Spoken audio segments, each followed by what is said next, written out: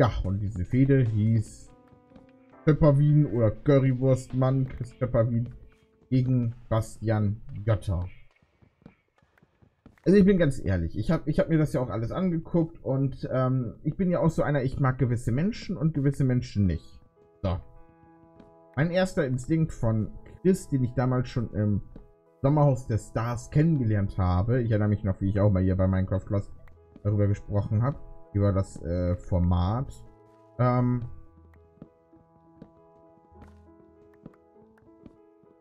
Warte, Moment, ich glaube, ja. Ähm, da weiß ich noch ganz genau, was ich darüber gesagt habe, über das Format. Ich weiß jetzt aber nicht, ob ich über ihn gesprochen habe. Jedenfalls, mh, hm,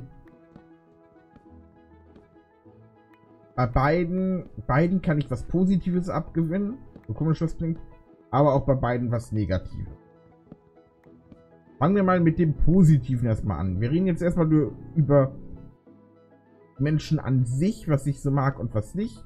Gebe ich auch ganz ehrlich zu. Also, man muss nicht jeden Mensch immer gleich mögen. Ähm, und außerdem, ich kenne die beiden nicht. Wer weiß, wie die drauf sind, wenn man sich mit denen so unterhält.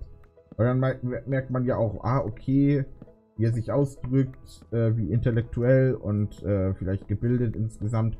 Humorvoll auch natürlich. Also, wenn man sich persönlich kennt, ist es immer was anderes.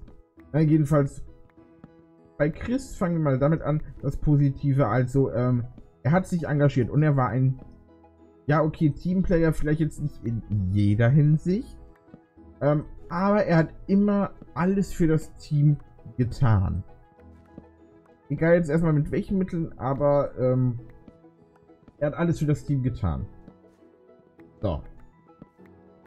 Bastian das Positive ebenfalls. Also er ist sogar mehr Teamplayer als Chris gewesen, gebe ich auch ganz ehrlich zu. Hm.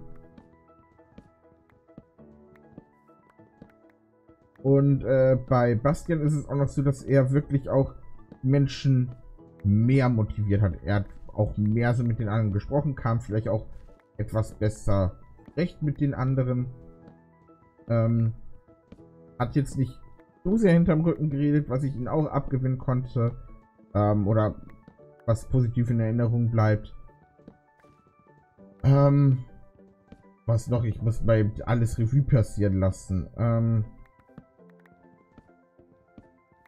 Ja, und ich sag mal, er. Er ist halt auch ähm, die ganze Zeit für sich. Ja, okay, nee, er ist sich für sich eingestanden, das ging komisch. Aber ähm, er hatte auch mit größtenteils dem, was er gesagt hat, behauptet hat, ich glaube, das meinte er auch ernst. So, aber da kommen wir jetzt mal so zum Negativen. Was ich so an Bastian nicht mag, oder was ich so an Menschen nicht mag, die so drauf sind, ich sag nur Miracle Morning.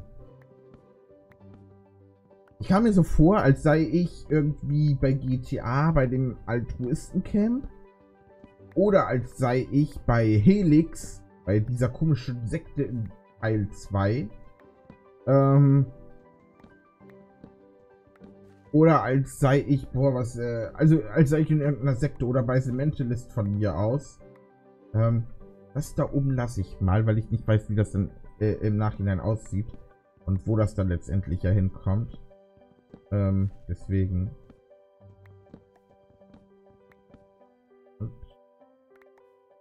Ich brauche gleich doch noch eine Axt. Ähm, das ist so das, was ich überhaupt nicht mochte. Also immer so von wegen, und es geht mir von Tag und Tag und in jeder Hinsicht immer besser und besser und besser. Ich sitze einfach nur, verdrehe die Augen und denke mir so, Junge, wir sind hier in einem TV-Format und alles schön und gut, aber was zu viel ist, ist zu viel. Also das konnte ich echt nicht mehr ab, gebe ich auch ganz ehrlich zu. Hm.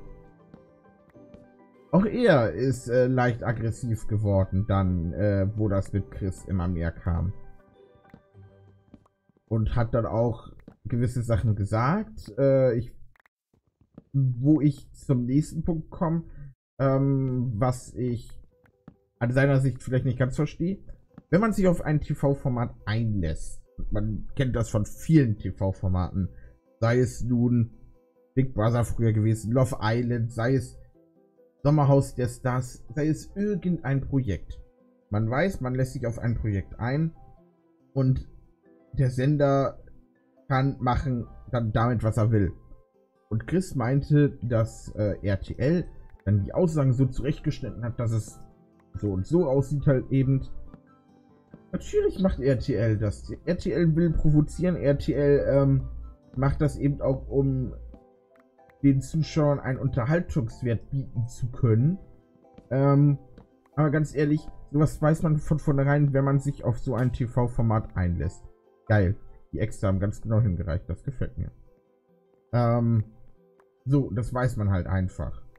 Und ich bin jetzt mal ganz ehrlich, so aus meiner Sicht, ich bin zum Beispiel keiner, glaube ich, der sich auf, äh, kommt, glaube ich, manchmal ganz darauf an, aber der sich, glaube ich, vielleicht sogar darauf einlassen könnte.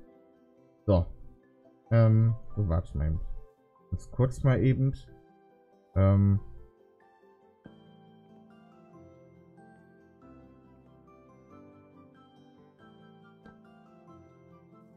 Ich da ausgemacht, oder? Als ich hier stand und dann. Genau.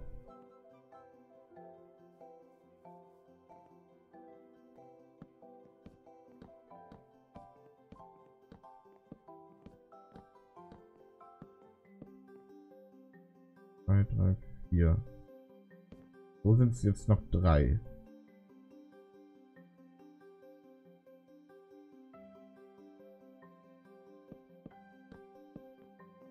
Hm.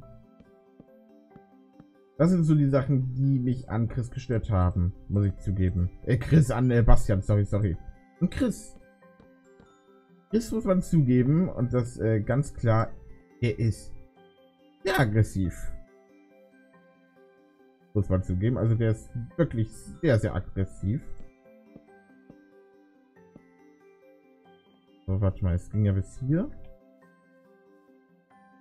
Eins, zwei, drei, vier, fünf, sechs, sieben. Warte, wie lang ist es jetzt insgesamt? Eins, zwei, drei, vier, fünf, sechs, sieben, acht, elf. 12, 13, 14, 16, 20, 22, 24, 28, 29, 30. Das passt. Hm. 1. Von wegen, das ist ja das. Und dann 1, 2, 3, 4, 5, 6, 8, 9, 10, 11, 12, 13, 14.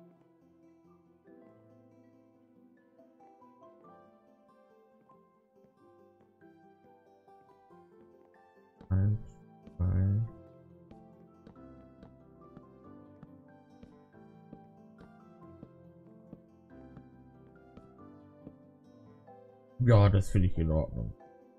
Das ist ein schönes großes Schiff. Also das gefällt mir dann schon eher. Räume können wir hier immer noch gut hinpacken, muss ich zugeben. Von daher.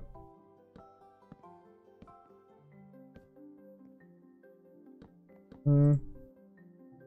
Nee, wie gesagt, bei Chris war es dieses aggressiv und was mich auch am meisten an gestört hat, ist so diese Autorität, die er dann ähm, echt, finde ich, aggressiv rübergebracht hat, als er äh, Teamchef war und wie dann wirklich so diesen arroganten raushängen lassen hat.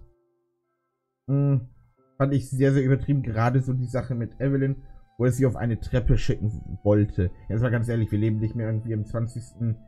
Äh, irgendwie in den 20er Jahren, wo man noch äh, Schüler irgendwie mit einem Lineal auf den Hintern oder auf Hand geschlagen hat. Und äh, er sollte, sie sollte noch die Regeln vorlesen. Also, ähm, da habe ich mir schon so gedacht, geht's noch? Also das, das fand ich sehr, sehr, sehr übertrieben. Und ähm, dann, da haben mir auch echt die Worte gefehlt, muss ich zugeben.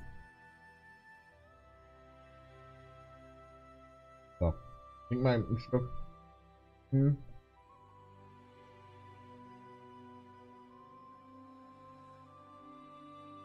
Hm.